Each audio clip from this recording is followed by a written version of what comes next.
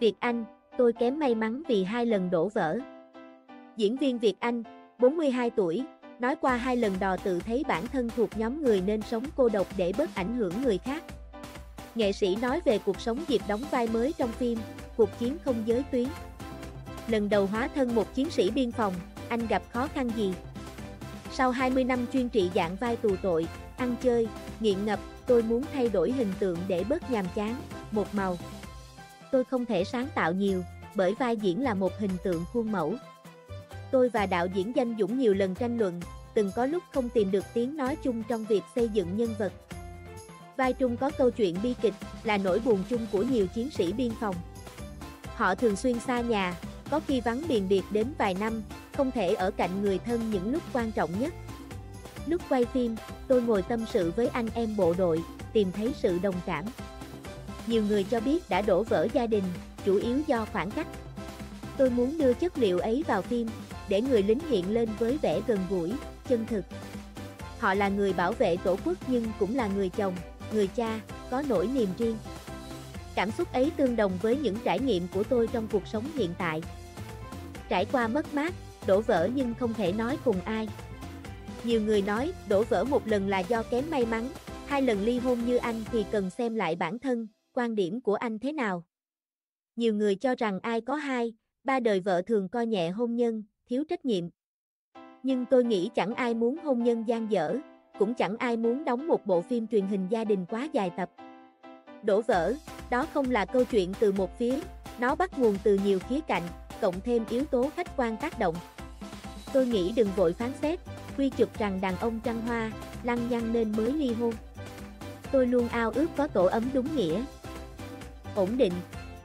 Nhưng cái mình muốn và thực tế lại đối lập. Cuộc sống luôn có hai mặt, được cái này phải mất cái kia. Tôi thấy mình có sự nghiệp thành công so với nhiều bạn cùng lứa. Bù lại, tôi kém may mắn vì gia đình không trọn vẹn. Đó là sự đánh đổi bởi khi dành quá nhiều thời gian cho công việc, tôi không thể nào vung vén, chu toàn tổ ấm riêng. Nếu mỗi thành viên không đủ nhẫn nhịn, hy sinh, chúng ta sẽ phải đối diện mất mát. Tôi là người của công chúng nên biến động nào cũng được quan tâm. Nhưng hãy thử nhìn ra nhiều hoàn cảnh, số phận, ngành nghề khác, tôi thấy người làm công việc gì cũng có tỷ lệ ly hôn cao. Anh nói sau khi cuối tháng 8, có thông tin anh không chu cấp, thiếu trách nhiệm với con nên không được vợ cũ cho thăm nom con. Con cái lâu nay luôn là điểm yếu lớn nhất của tôi. Tôi có trong tay nhiều thứ nhưng việc ở bên con lại trở thành điều xa xỉ. Trong tương lai, tôi sẽ tìm mọi cách giải quyết vấn đề ổn thỏa. Cuộc đời là vậy, có những chuyện rất trái ngang. Tôi không thể nói rõ tất cả, cũng không thể yêu cầu mọi người đều hiểu mình, chỉ cần người thân, bạn bè cảm thông là đủ. Anh nghĩ gì về việc đi bước nữa? Qua hai lần đò, tôi thấy mình thuộc nhóm những người nên sống cô độc để bớt ảnh hưởng người khác. Tôi đọc nhiều sách về đạo Phật, tâm linh, trong đó có cuốn Không diệt, không sinh, đừng sợ hãi của thiền sư Thích Nhất Hạnh. Tôi rút ra mọi việc trên đời đều có duyên số. Đến với nhau nhờ chữ duyên, chia tay cũng là hết duyên, không việc gì phải hàng học, thù hận hay oán trách.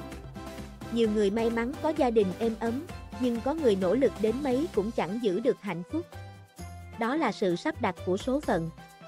Tôi ly hôn hai lần đều lùng xùm, bởi đổ vỡ luôn ầm ĩ hơn hạnh phúc. Giờ tôi mệt mỏi, sợ hãi khi nghĩ đến những trải nghiệm đó. Tôi muốn dừng ở số 2 để tránh những ồn ào khác trong tương lai.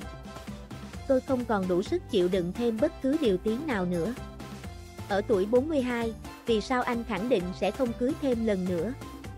Tôi không mưu cầu những thứ cao xa hơn để rồi phải thất vọng. Nếu may mắn, tôi sẽ tìm được một người phụ nữ có cùng quan điểm. Họ cũng xác định chỉ yêu, không kết hôn. Giả sử cô ấy chấp nhận, chúng tôi vui vẻ ở bên nhau. Tôi luôn nói rõ mong muốn này với mọi người, kể cả những ai có ý định tìm hiểu mình.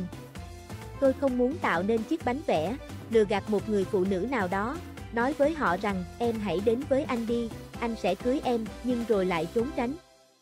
Như thế thực sự tàn nhẫn. Anh giải thích thế nào khi vài năm qua liên tục bị đồn yêu diễn viên Quỳnh Nga? Tôi và Quỳnh Nga chơi chung một nhóm bạn, vì còn mỗi hai đứa độc thân nên thường xuyên bị gán ghép. Tôi thấy Nga cũng là người kém may mắn khi vô tình bị kéo vào những ồn ào không đáng. Mọi thứ đều chỉ là tin đồn. Tôi khẳng định Nga không liên quan gì, càng không phải người thứ ba xen vào hôn nhân của tôi. Chúng tôi có đầy đủ bằng chứng để chứng minh sự trong sạch của hai đứa. Nếu đến một thời điểm nào đó, Nga bị ảnh hưởng nặng nề hơn, tôi nghĩ mình sẽ phải công bố những thông tin này. Hiện tại, Nga vẫn có thể xử lý mọi việc. Chúng tôi đều không muốn làm lớn chuyện, tự biến mình thành chủ đề để mọi người bàn tán. Diễn viên Việt Anh nổi tiếng từ năm 2006 với vai Cao Thanh Lâm trong phim Chạy án, thuộc series Cảnh sát hình sự. Anh góp mặt trong nhiều phim khác như Gió nghịch mùa, Chàng trai đa cảm, Gia tài bác sĩ, Người phán xử, Mê cung, Sinh tử. Nghệ sĩ làm đám cưới với biên tập viên Thùy Linh năm 2005, ly hôn sau 5 năm. Sau khi chia tay, vợ cũ và con anh định cư ở Canada, hạn chế liên lạc. Ở buổi họp báo phim chồng cũ, vợ cũ, người yêu cũ năm ngoái, diễn viên khóc khi nhắc chuyện nhiều năm không được gặp con gái dâu Tây, 16 tuổi. Anh đăng ký kết hôn với Hương Trần năm 2015, sau 3 năm sống thử, có con trai đậu đậu, 8 tuổi. Năm 2019, cả hai ly hôn. Các bạn hãy đăng ký kênh để cập nhật thông tin miễn phí mới nhất.